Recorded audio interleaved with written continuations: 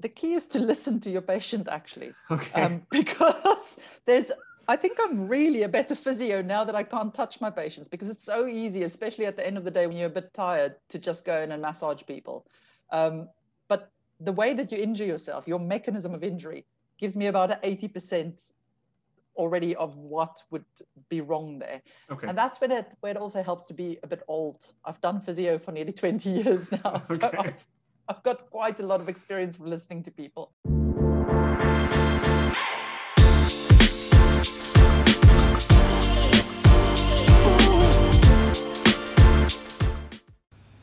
This episode of the Smart Athlete Podcast is brought to you by Solpri.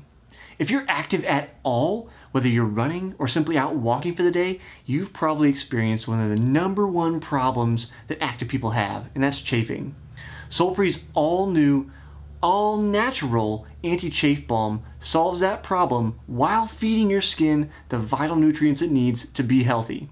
If you'd like to stop chafing once and for all and treat your body right, go to solpri.com to check out the anti chafe balm today. And That's S O L P R I dot com.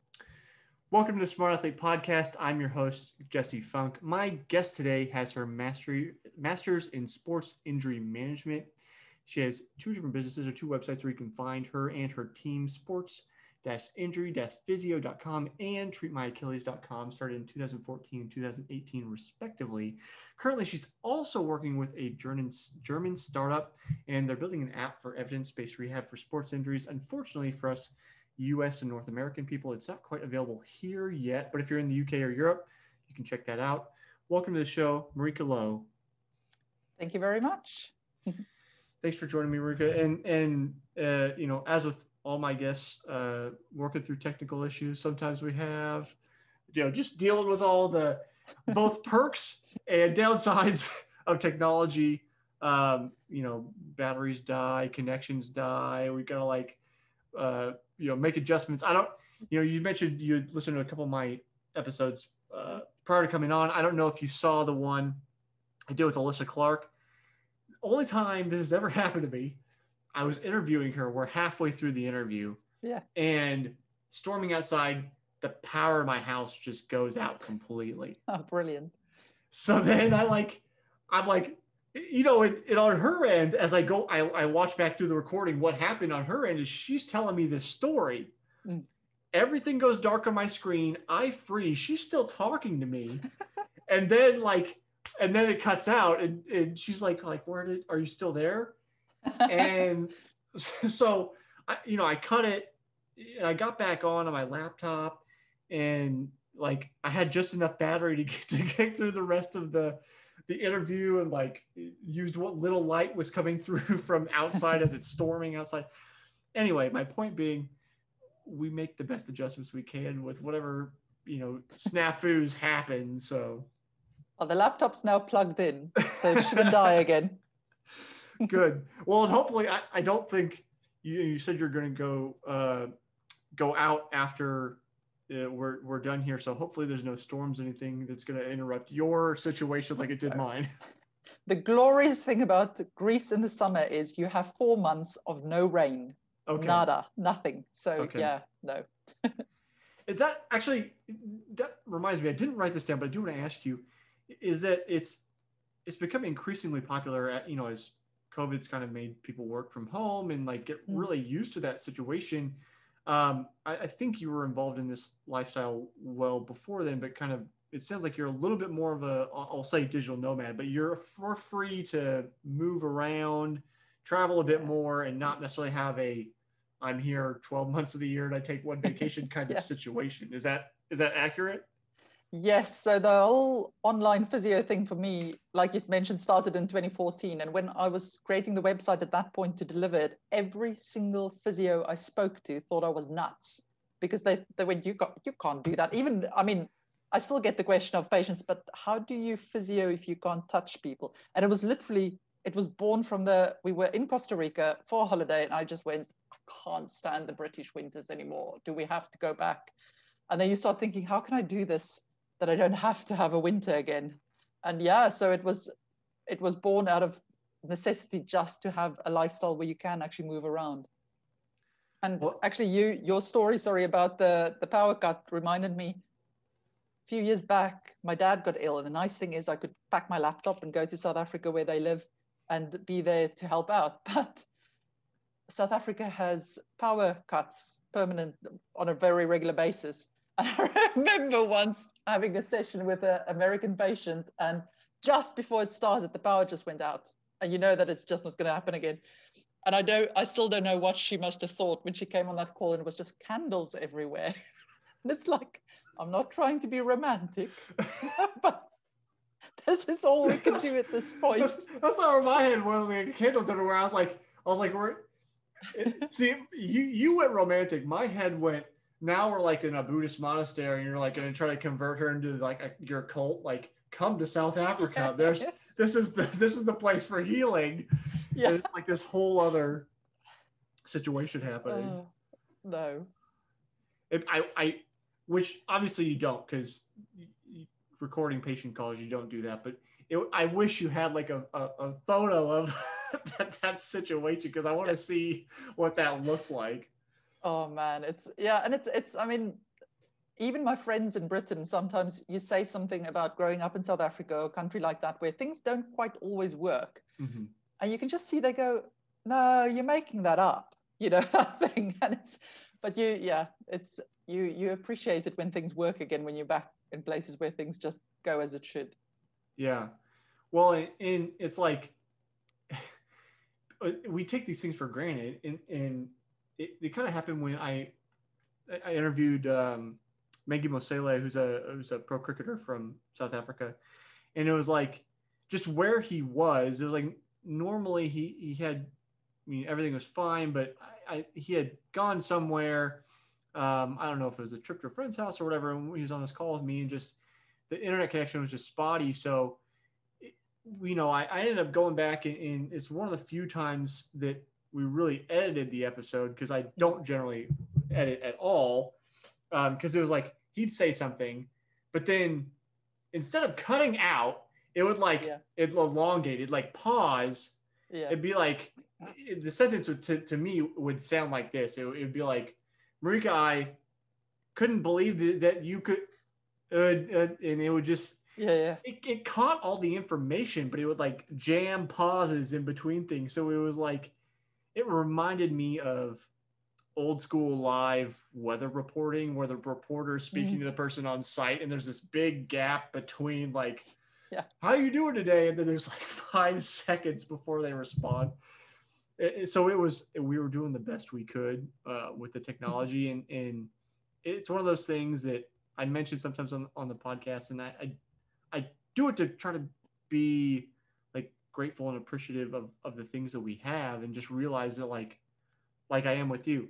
Speaking of somebody halfway across the planet, like Yeah, like we, yeah. we live in the future. Um, I don't think we appreciate that enough sometimes. Yeah, no, but you have to also spare thought for the people in Britain because their internet is just as bad. it's, I get better conversation like with you now, way further away from me. Whereas when you try with somebody rural, rural in the UK, it's like nothing, and it's an island. It's meant to be good. Well, we're I mean, so where I am, we're spoiled a little bit because we were the first city um, to have Google Fiber, so that's where I've got hooked up in my house. So I, Ah. yeah, so and I'm on a hard line. Uh, I'm not even on Wi-Fi with the desktop here, so I'm I'm hooked straight in. There should be no lag at all. I hope. Um, so yeah, we're at least here in the other cities in the U.S. that have you know fiber internet are Mm. definitely spoiled at this point, and, and you you tend to forget like what it was like. I mean, I'm not particularly old, but I grew up with dial-up, and it's like those were that was ages ago, and you just forget. If you tried to exist on the internet with dial-up now, you might as well just forget it. Yeah. Mm-mm. Yeah. Um, but that the point does remain that like what you do is enabled by the internet. And uh, so first I have to ask, uh, where were you like four weeks ago? Because I could have used you um, when I like I don't know I tweaked something in my back swimming. It was a rest week. I wasn't even like doing it. It was the stupidest thing, and I, I kept being like exactly what you do. I'm like I wish there was some way I could just just you know call and be like, how do I fix this? So first, thanks for offering such a service. it's my pleasure. because you know it's just so, so uh, for you listening, I don't know whether you were in college sports, but if you weren't, um, for those of us that participate in college sports, we you know had at least a couple of years of time where you've got direct access to athletic trainers if anything goes wrong immediately yeah. with without having to you know schedule an appointment or or pay a copay or any of that and so yeah. you, you know get used to this like something's wrong somebody can go look at it okay this is our rehab plan or this is we're going to tape it today or yeah. just ice it or whatever it is and then you know i'm 10 years post graduation and now it's like well now what do i do yeah well that's actually the whole thing that got um, the founder of this app company that i'm working for thinking about building this app because he was uh, he's in germany he's a runner and he got injured and mm. he actually consulted me via the internet while i was in thailand last year beginning of the ep- epidemic and it frustrated him that he'd not been able to access medical help in Germany, of all places where you should have it easily.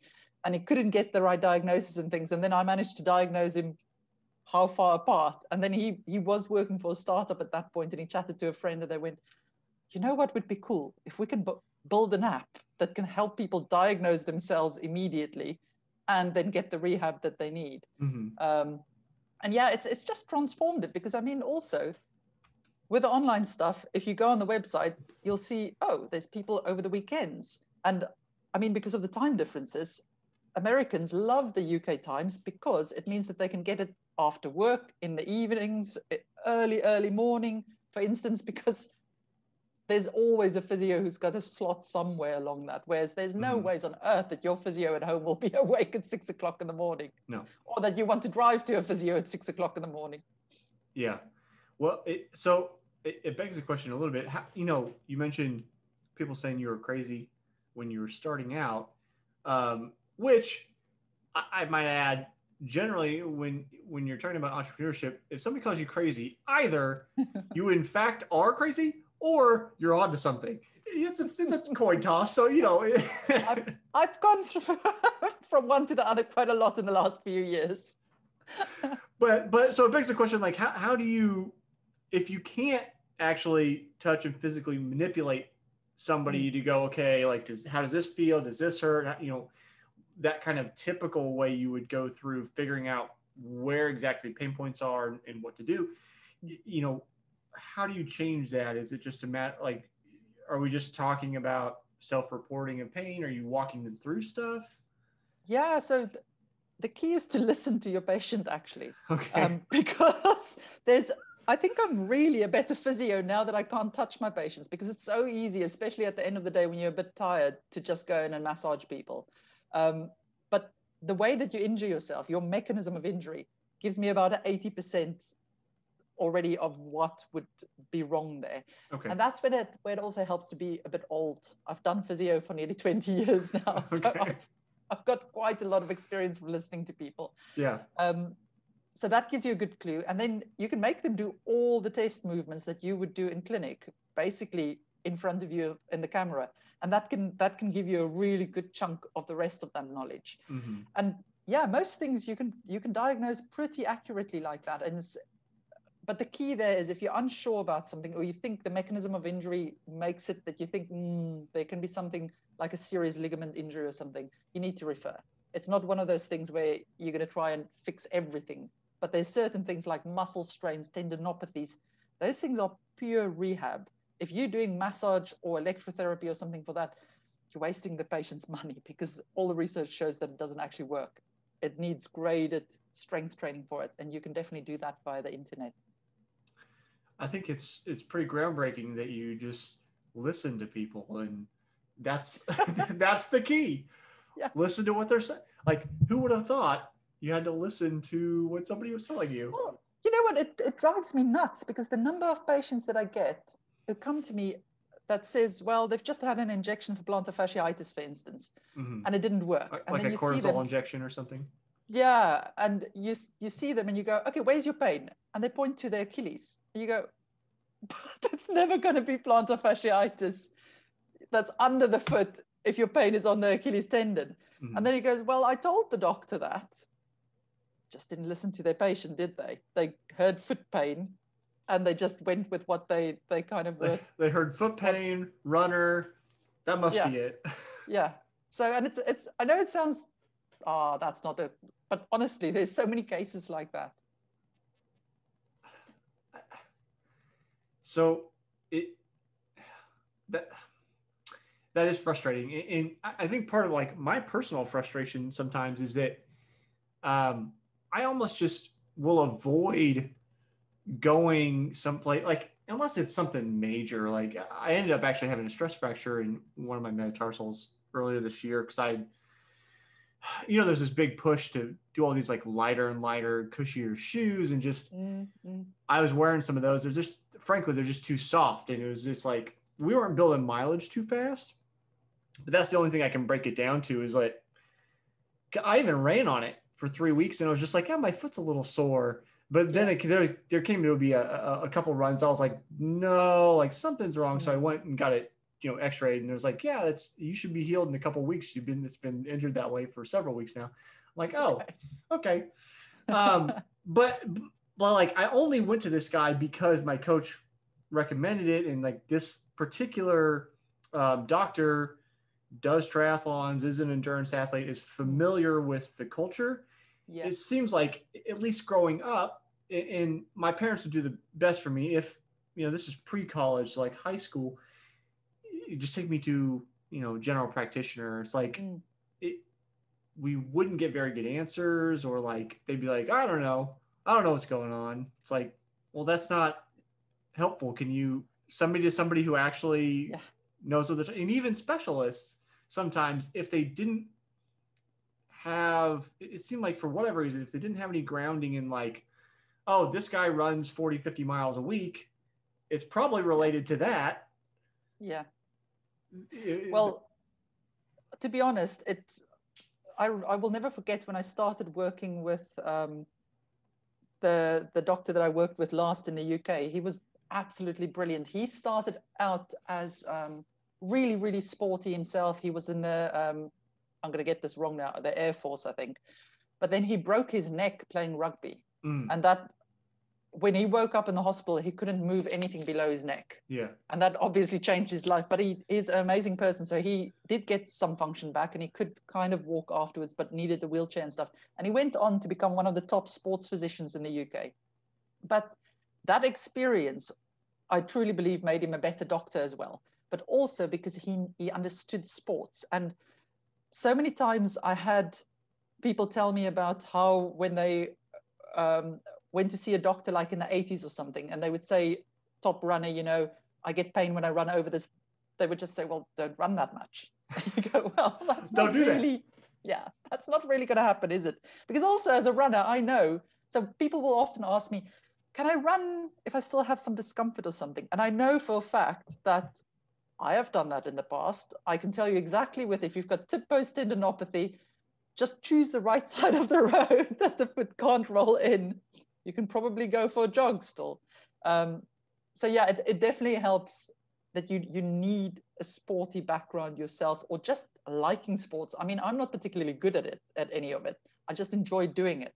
Mm-hmm. Um, but yeah, it's if you've got a sports injury, I would always say look for somebody who actually specializes in it. I mean, my general practitioner, I want them to pick up if my heart's going to have a problem or you know I'm going to have a serious thing. I, I don't necessarily need them to know about sports injuries, all of that. But I definitely would like them to be able to refer me to somebody that knows about the right things. Um, so yeah, who you see makes a big difference.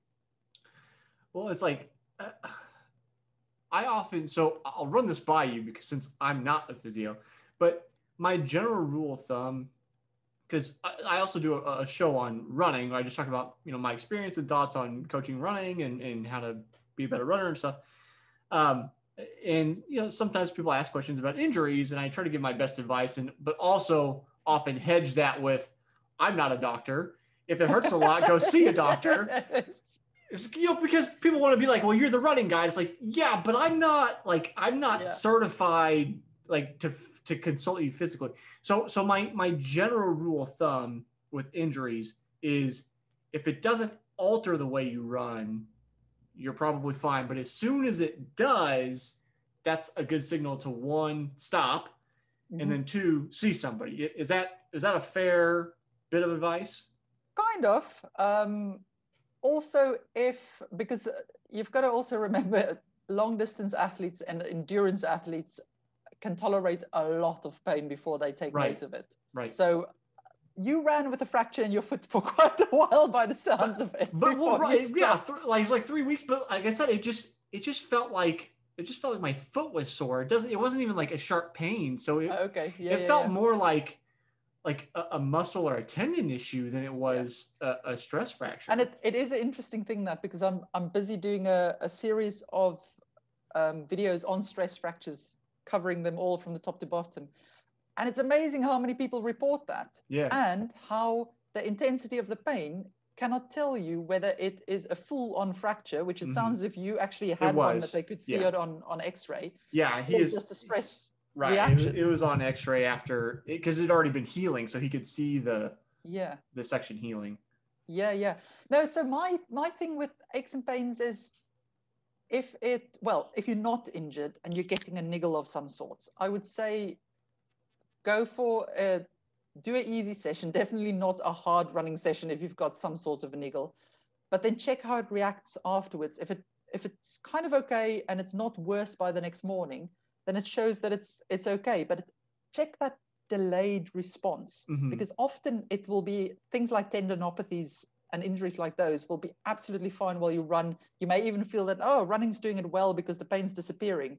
But then the next morning you wake up and you go, oh, that's quite stiff Yeah. and especially at the at the beginning it'll be a little bit of stiffness that goes away quite quickly but then that will start to build so it's about yeah it's it's what you've said described there if it's not going away and it's staying there for a while then i would and especially if it's getting more intense then you need to get it checked this is um, kind of a callback to the, the interview you did on the the Run Smarter podcast, um, talking about runners being impatient, which is a- little bit funny to me because, I mean, as an endurance athlete, it's like your whole goal is to be patient, basically. Like you've got to, you can't because you know you can't like this, you can't sprint out and then die off. Like you've got to be patient for a long period of time, and to and to get better, you got to be patient. But then, it, like when it comes to injuries, we get very impatient very quickly. It's like,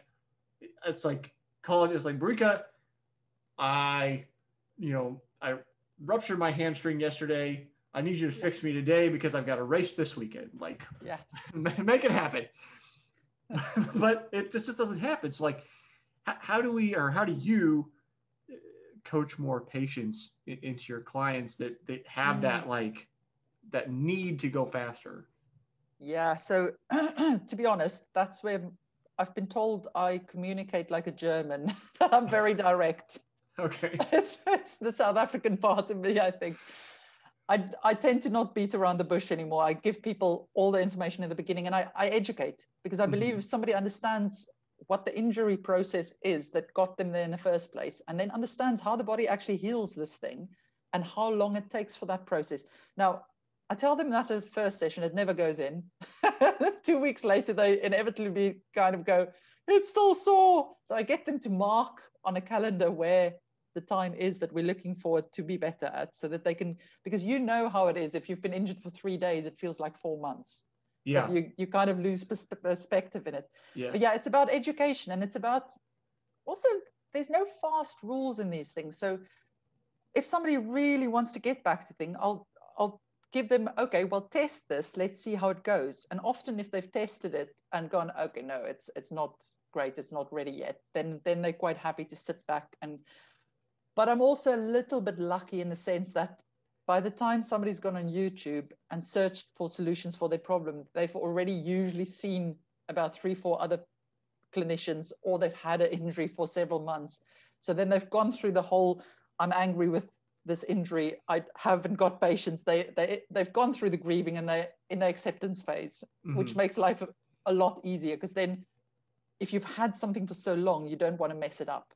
So then sometimes it's more about going, no, honestly, you can start running again. just just just start again, please.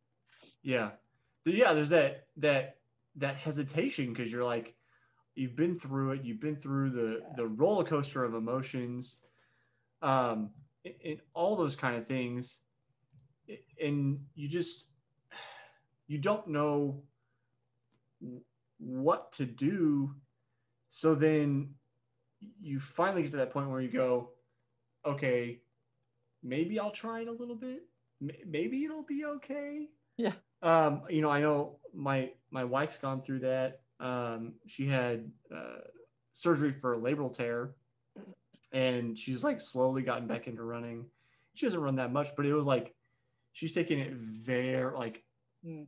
she's she's been super patient. She's it, it yeah. just like way more patient than I would have ever been. Like building up from like I'll run for 30 seconds and then walk for a minute and then I'll run for 30 and like yes. building up to now it's like okay I'll run for five minutes and then what I mean it's been months and because she's you know she doesn't want to go through that again it was such a yeah. horrible horrible time um and it's like that that avoidance is more important than you know getting yeah, back to performance to be honest she's being really clever about it as well because I so many times meet people who say, No, I can't run again because I just keep on getting injured. And usually, when you look at how they're going about it, they have the mindset, a fitness mindset when they're trying to do it. So they, they, they have the same thing of, I've just not trained for a while. I'm just going to ramp it up and I can push through it, you know, all of that. But what they don't understand is that part that you're injured, that tissue's capacity is now reduced. So it doesn't have the capacity to cope with all the load from running, because in that sense, running is a strength training stimulus. So for her, with her labral tear, every time she goes for a run, that labrum will get some micro damage because we get micro damage all over the body when we run. And it's when the body repairs it that we get stronger. But that repair, after all her rehab, her muscles and stuff will be brilliant and strong. Cartilage would have strengthened a bit, but every run she does acts as a strengthening stimulus for that repair. So she's doing the safest option by going that slowly.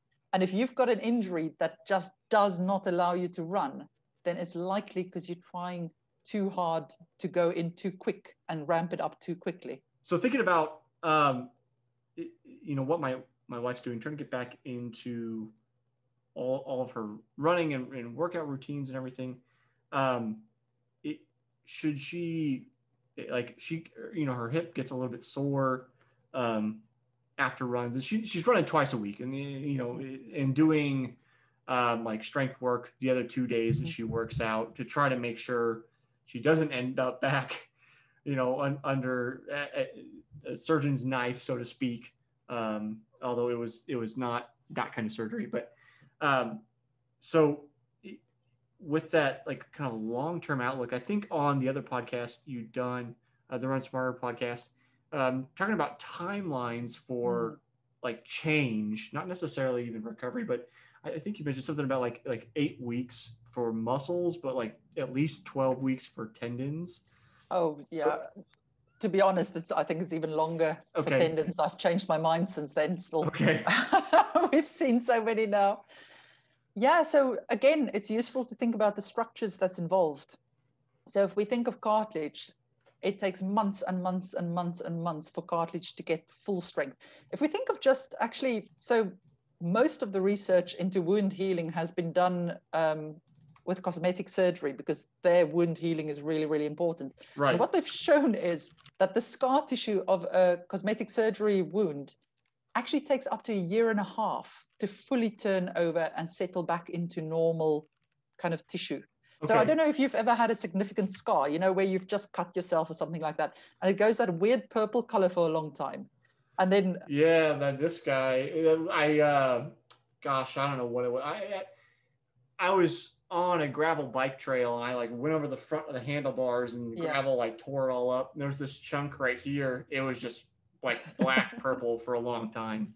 Yeah, you kind of think, oh, okay, that's my weird looking elbow now for the rest of my life. Yeah. And then because it happened to me on my leg, and just one day you, you kind of look at it, you go, oh, it's normal color now. When did when did that happen? And it, it literally it takes nearly 18 months just mm-hmm. for that to happen. And this is again, skin is something that that heals quite quickly, although yeah. it's also a lot of collagen in it. So the main thing with this type of surgery and for knee meniscus injuries as well is people underestimate how long it takes for that tissue to really fully recover. So for her, I'm glad to hear she's just running twice a week because I mm-hmm. think that's if she's still getting sore after that, that's probably the perfect kind of volume for her at the moment. Mm. And then the other important thing with that, because it's a joint, yes, fine, she's doing the strength training, so she's giving it loads of support from the outside. But joints are interesting in the sense, and I never appreciated this when I was younger. Now that I'm getting older, my joints are not pristine. You know how when you sit still for a long period and then get to move, you go, oh, everything's stiff. yeah. That's basically because joints don't have arteries and veins going in and out of them. Mm-hmm. So if you're sitting still and they're not getting movement, there's no change in what's happening inside them. So they need movement to get the nutrients in and out, to get the um, inflammatory stuff out. So for any type of jointy issue, if she, I don't know how she feels about things like swimming or cycling, but doing a type of sport where there's a lot of movement but not a lot of impact can be brilliant for joints and really, really help to feed them. But I know that some runners really hate cycling, so it will depend on what what she prefers to do. Um, but if she if she can do it and it's pain free to do, then it's something to swallow like a like a pill, basically two to three times a week. Um, it can be really useful. Okay, I'll definitely pass that on. I know I know she'd like to get a bike, and we've got the the perfect kind of environment to do that around mm. here. Um, so she'll probably use that. Use your advice as like more impetus to be like, we need to go get me a bike. Yeah, so, precisely. So now I know yeah, what we're doing this weekend. yeah, and what what she may find is if she does have the bike and she does regular cyc- bike rides, she may find that actually the reaction after running is not as much. Or if she is left with some stiffness after the run, getting on the bike and just going for an easy ride should be able to ease that then. So th- this is probably a duh question, uh, but for clarification's sake, because I, I, like to uh, keep everything he- straight in my head. As I was having a conversation with somebody else the other day, I'm a jack of all trades, master of none kind of person. So I, I need straightening out from time to time. Um, so so because of the joint situation, hmm. um, I know like when I talk about running, getting ready for races, it's like you want to warm up and part of that is lubricating your joints. Mm-hmm. Is that the purpose of that? Like you have to go through those gentle motions to get all of the stuff in and out of the joints at that point. Is that yeah so it's it's shocking when i really only at what point in my career i only went what does a warm up actually do? and looked into it. Because the the truth is when i studied physio early 2000s we were pretending to be sports physios, but there was very little sports related stuff in there. It was all about disease and things. So yeah, warm ups are amazing things. So it depends also on what you've done for the rest of the day, kind of what you've already been up to. But if you, for instance, like most of us, you either get up out of bed to go for your run or you're sitting and working all day and mm-hmm. then you mm-hmm. get up to go for a run. So in both scenarios, everything would have stiffened up a bit. So mm-hmm. you're lubricating your joints with the warm ups you're getting that range of motion through it so that things don't suddenly have to stretch when you go because you've also got to remember you've got a capsule around that joint which is like thick ligament type stuff. Right. And if that's been still for hours and hours and hours it's not quite as flexible. So you're improving the flexibility of all of those things along, along with it. Um, and then there's obviously that you're actually waking up your nervous system. So i always kind of smile when people go oh i'm doing activation exercises all exercises are activation exercises. If you if you're contracting muscles, you're activating them. Mm-hmm. Um, so yeah, and I mean if especially something that I see a lot with my patients who work from home and who ends up sitting a lot before they go out for a run, they can literally cut their injury rates in half if they just get into the the mindset of even if it's an easy run, I need to do something to get my hips moving because they've been stuck in flexion all day. Mm-hmm it's something I I've kind of recently adopted. I think when I was younger, I could get away with it more, just like heading out the door and go, you know, if, you know, war, like using the run as a warm up, and then it's like, yes. like okay, but you know, as you get a little bit older, again, I'm not old yet, I'm early 30s, but you know, you're starting to feel a little bit, and uh, I, it's just advice from uh, Jason Fitzgerald, who's a, a big uh, kind of running advice guy. He has a blog and YouTube. Um, he's on. He's been on the podcast, um, and, and, he's big into like strength training for injury prevention. Um, mm, but one absolutely. of the things he does is he has kind of a routine of like strength work, so to speak, prior to going out to run. So like I've added that in, or doing you know doing on top of doing the mobility stuff mm. leg swings and hip circles and that kind of stuff, doing some squats and, and calf raises yeah. and like trying to activate all those muscles and get all those things warmed up a little bit before I even head out yeah. the door. Yeah. And it's like, that was the big, like, big, I'll say big nugget, which is kind of an oxymoron. Um, I took away from him is, you know, that's something I probably could have been doing for a long time to, to yeah. lower injury rate don't you also just then suddenly feel you know how you can sometimes just feel heavy when you go out right but when you when you do that type of thing then you just feel as if oh i can actually bounce you know you yeah can, the starts have been uh, much better yeah no you're definitely immediately ready and there's so the main research about injury prevention through proper warm up has been done with football because I mean they're forever trying to figure out how to get right. fewer injuries there. So talking about um, soccer, um, that type of football. Yeah. And uh, they've shown that they they created this warm up plan which consisted of all of those exercises you've just said squats balancing stuff um, bridges what else was in there? Um, lots of adductor you know just hangs but all like planks and things that you would think that's strength training. And the injury rates just fell dramatically. Mm-hmm. then they started applying it to different sports. And one of the most interesting findings with that is that in rugby it even cut the concussion rates. Mm. So for some reason, either it's because the neck muscles are woken up better, that there's less um, force going through there, or people are just more alert. But yeah, they, they surprisingly found concussion even went down.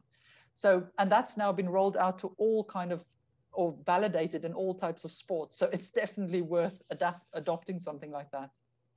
With, um, because I'm more familiar with runners, I'll say runners, but maybe this happens with other, other sports do you ever have to convince people that it is actually going to positively affect them. It's not going to negatively affect them. Like, like where it's like, oh, if I do all these squats, I'm going to be tired, and then I'm not going to, I'm not yeah. going to go run. Well, that's that's a very important thing. You cannot take your mate who's a really fit club runner who does strength training regularly. If you do the same warm up as them, you're going to be knackered if you're not that fit.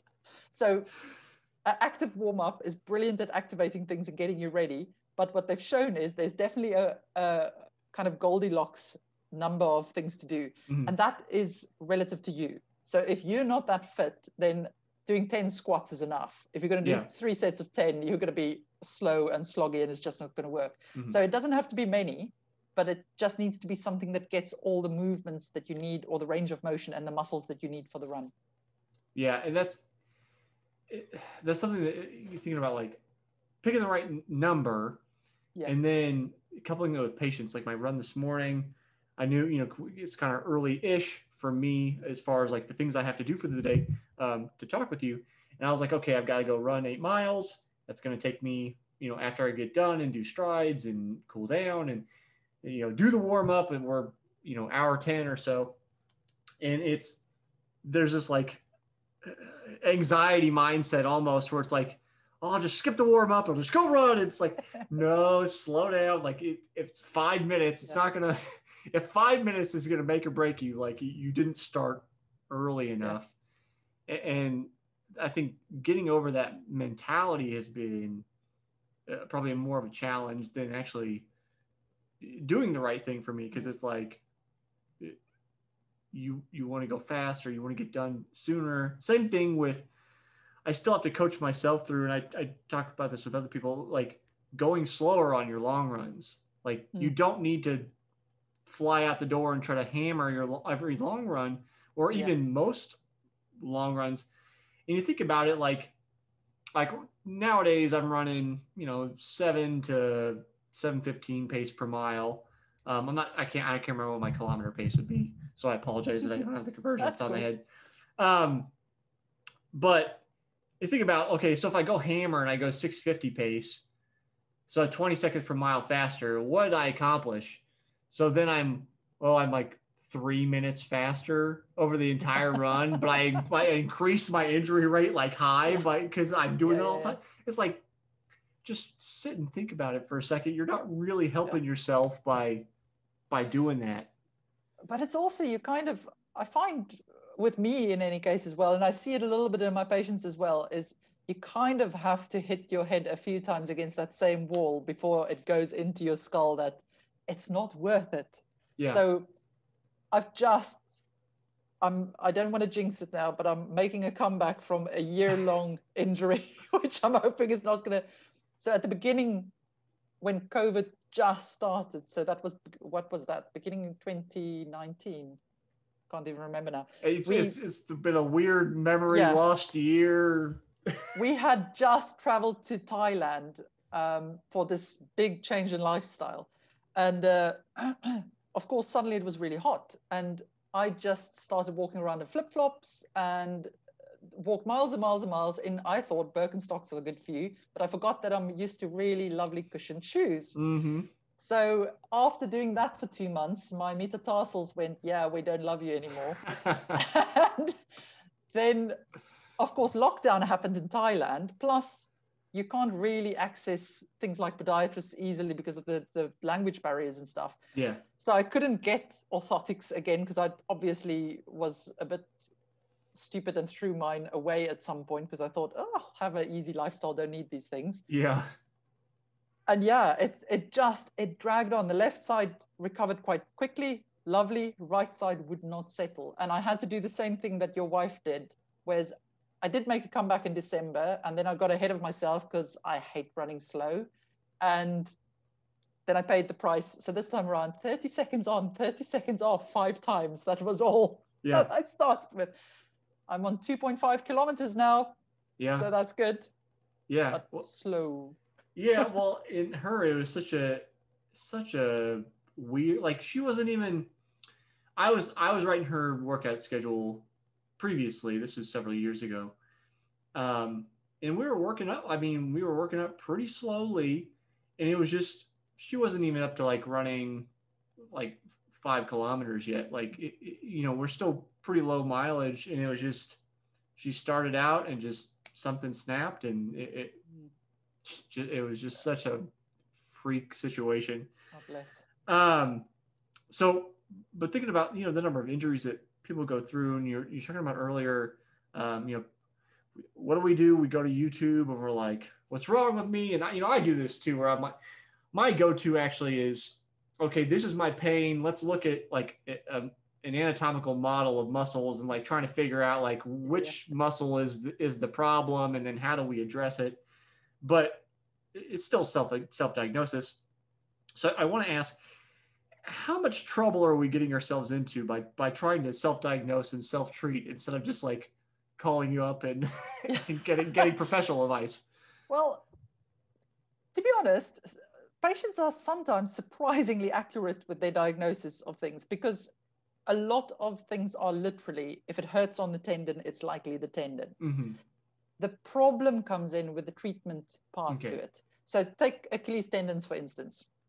If you Google on the internet how to treat an Achilles tendon, you'll get loads of exercises and things out there. But the problem is that there is no recipe. There is no like one size fits all. It depends on how strong your tendon was to start with. It depends on how long you ignored it for, how mm-hmm. strong you are now. Um, you know how much running you've done in the past, where you start. So sometimes I'll I'll see patients read because when you look for tendons, for instance, you'll you'll get the message that you need to do heavy strength training. So bless them. Then they jump in with this really painful tendon, start with really heavy strength training, and then lo and behold, it's really painful. Mm-hmm. So I would say diagnosis wise, I would never discourage people to go and look for what it could be. But if you want to know what treatment to do, do speak to a professional because they can just guide you as to where the right place is to start and how you need to progress it because that's where the wheels come off quite quite often. What I would also say is if you're not getting better as expected, because the person you see needs to kind of give you a, a, timeline for this is what's wrong, this is how long we need to kind of do things before we'll see an improvement. If that's not happening, don't just keep on going back and back and back if there's no improvement happening. Do read up about things, see if people can be wrong. anybody can make a mistake. Um, I know for myself, in the days where I had to see loads and loads of patients in one day, you get tired, so you miss things. So if you if you feel something's not right, or you're don't just assume the person in charge of your care should know what what it is. Have a frank discussion with them. But yeah, do look at Google because it, it can help if you go, but don't you think it could be this or could be that? It is really annoying as a physio when a patient does that, but it is useful sometimes. Yeah, well, that's that's the, the I think the tough thing because I have I have friends who are doctors now, and it's like we have this tendency to, eh, eh, you know, like especially when we're talking about like actual illness versus injury, it's mm-hmm. like eh, the, there's a reason that people go through years and years of school and specialization yeah. to diagnose those things because just a Google search you know you have a like a, a, runny nose and you google and it's like oh i've got nose cancer. Like it, it's immediately the worst usually, it's immediately it the usually worst comes out as a cancer doesn't right. it yes. Right. So it's like no you just have seasonal allergies. Here like here's a claritin you're going to be fine. It, so that's where i wonder you know it just it whether it was that kind of scenario where it's like we're getting ourselves in over our head. And i know like you said uh, the trying to design the rehab routine is very difficult because it, without somebody like you saying, okay, this is where you are now, or this is how we figure out where you are now, mm. it's hard to say, okay, I shouldn't go do, mm. you know, lift weights. What I should start with is like yeah. standing up out of a chair. Yes, exactly. Exactly. Like so and it, it was interesting because in this process of designing the, the rehab programs for the app, you kind of go, how do I do this? You know, how, how do I know when a patient can start or what a patient can do? When do I decide they're ready to progress to the next thing? And then you realize, oh, oh no, there's there's definitely set targets that I've mm-hmm. learned through the years. You know, if somebody can't do that yet, then they can't do that. So for instance, with the Achilles again, we've just learned that if you want to get back to your running, you have to pretty much build up to doing your exercises with weights that's equal to about 20% of your body weight.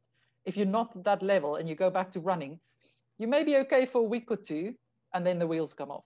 So there's there's definitely things like that. But yeah, I would say it's a it's a mixed thing. I do I like that people can be more informed these days about things. And I like the fact that patients ask me, can you just write down what it is that I have? Because I know they're going to go read up about it. Mm-hmm. Because I feel if you you have to understand the condition to understand how long it will take mm-hmm. and not rush things and and you know get better at the best rate then the the timeline thing i thought about this earlier um i can't remember whether we were i think it was pre-recording we were talking about i had spoken to uh Lwandisa zuma who's another pro cricketer from south africa mm-hmm. and early on he was like 18 19 he had what he believed at the time to be a career ending a career ending back injury. Oh, wow. And it, it yeah. was not like 18, 19 months before he started bowling again. And he, you know, because it took so long, he really thought like things are done before it, yeah. it, it, it even it got started. And it's like, one of the things I talked about with him, and I've kind of come to this place too, where it's like, don't set a timeline on it. Just be with it, like continue the process, and like you'll get there when you get there. Because yeah. if you set, you know, like I asked you earlier about eight weeks, 12 weeks, it's like, yeah, yeah, but. yeah, exactly. If you get to that eight week point or that 12 week point or whatever it is, and you're yeah. not better, then there's this source of frustration. Like, what am I doing wrong? Why? And then yeah. you've got to go through this whole emotional turmoil instead of just being like, am I there yet? No. Let's, yeah. What's the next step and continuing forward? And I, that is the hardest, hardest part. So the first thing to know is that I have not seen an injury that hasn't healed. Um, not meaning myself personally, but I mean, every single injury that a person gets can get better. So yes, some of them, of course, if it's like severe trauma, you will have adjustments to make. But if it's if it's a knee injury, if it's an Achilles injury, all of those things can get better. So I often get people when something is really painful that they just can't see that they're going to get back to their sport. And the best thing is to, like you said, to not focus on how far you are away from that, but the small steps. And it's difficult when something takes that long. High mm-hmm. hamstring tendinopathies is one of those things, and it, it upsets your whole life because when you have that condition, you can't even sit. So you can't go out for food with your friends or anything like that because you can't actually, it just frustrates you. And it's about just keeping people that they keep track of where they were and where and checking in with yourself again. Okay, fine, I can't run 5K yet, but you know what? I ran 30 seconds this week and I couldn't walk two kilometers, you know, five weeks ago, something like that. If you're not going to keep goals like that and keep reminding yourself of it, then you, you're going to, yeah, you're going to lose it. Uh, before we run out of time, I, I want to shift gears a little hard here because um, mm-hmm. I wanted to ask you about this. I, I saw I, you posted this on your Twitter, I think, um, it, thinking about uh, genetic testing for kids and sports potential. Oh yeah. Like this, as I said, we're we're shifting hard gears here, but I, I wanted to ask before before we run out of time. So so are we really trying to? Have you seen the film Gattaca? Do you know what I'm talking about? Um, it's ringing a bell but yeah, that you that you engineer. Like, yeah, like engineering kids to be yeah. whatever, and then it's like this kid is not engineered, and he's like try, trying to become an astronaut and yeah. trying to do all these things to get through and f- fake it, basically, and yeah. showing like the, the will of the human spirit as Absolutely. the determiner. Um, so it reminds me of that, but like, are we really at the point where we're like, are parents so obsessive? I guess that they're like is, is my kid going to be an Olympian? I need to know, and I'll pay to know right now. Like, are we are we there? Is that happening? There, there's definitely crazy research going on about that, and there's companies claiming that they can tell you things like that. And it's important to understand that there's no one or two genes that decides that you're going to be sporty or not. It's such an interaction of things, and a little bit that I understand of it is you still got epigenetics in there as well, which means mm-hmm. there are loads of genes that's asleep and they can turn on or turn off depending on what else happens in life there. Yeah. Um, so yeah, I would say f- from a personal point of view, I know you need a, a definite standard of genetics, which I missed to be fast and yeah. have explosive speed. But if you take people within that range, there's a lot of different things and it's a lot of mindset that goes into who then makes it or doesn't make it and whether they even want to make it. But yeah, I, I, I just I feel it's sad when when things get to that point where people try and control things that much because it takes the fun out of the sport. Mm-hmm. It just, yeah, why then? I just it, I don't know. I, I just don't. This is one thing I think my parents did well with me is it like, and maybe it's because I was so motivated myself, but just like they didn't push me to do anything. It was just like if you want to do it, you're gonna like you're gonna do it, and that's and they kind of let me be. Yeah. And so I think maybe it's in part it's because that's my personal experience, but I just I don't get the culture of like we're you know we're gonna make you into this world class. You're going to college. You're gonna play in the NFL. Or just like why why are you like why are you putting so much pressure on, on kids? And, and some of them make it, and I think that maybe that you know exacerbates the the thought process but i know from having spoken to a, a number of, of, olympians now mm. that it's like they often played multiple sports and didn't mm. specialize and like didn't start mm. this like super crazy training early on it's like yeah can you look at the evidence and and say like chill out like it's it's gonna be yeah, okay so, and i mean if we if you think quickly about injury management in kids, the main injuries they get during those growing years is growth related because they're just doing too much intensity. So they've shown that it's much better for development. If you want a strong athlete when they're late teens or early 20s, you need to give them variation because mm-hmm. if they're doing just the same thing, interesting with football again, they've shown that actually kids who are exposed to lots and lots of hours of high intensity football in a week their hips, the the bones actually change shape to the mm. to the type of bone that we know or the shape that causes early arthritis in hips. So because they're soft. Yeah. Um, so yeah, no, I'm definitely there with you. It's if you want a strong child who can really perform later on, then give them variation. Yeah. Maryke, as we're winding down on time, um, a question I'm asking everybody this year, uh, so I can get kind of a cross sectional response, is how do you stay motivated after failing to reach a goal? Oh, yeah. I guess I'm it. Yeah, I'm I'm quite easy on myself when it comes to exercise goals. I usually just go eat a chocolate or something like that. so I'm not. My goals are more with related to the other things, but I think also I'm not too hard on myself. I I always look at what I've learned from it. So there's always something you learn from from what you do, and if it doesn't come out exactly like you wanted it, it's something you take with you um, and often the goals you don't achieve turns out to be ones that you didn't really want to achieve in the end that much. That's fair. Um, Maryke, where can people find you, get in touch, uh, see what you're doing, you know, if they need help, all that kind of stuff? yeah. So you're welcome to either look at the website sportsinjuryphysio.com, but um, you can also find me on LinkedIn, Maryke Louw. And yeah, um, there's, I think if you want to get in contact on social media, probably my um, Instagram handle is the most, the one that I keep an eye on most because the rest, and I need to remind myself now as we speak what that is, which is online.physio.marika. And those are, if you're on YouTube, those are on the screen. If you're not, they're down in the description. Um, so you should be able to click on those and get straight to them. So Maryke, thank you for hanging out with me today. Thank you for having me. It was fun.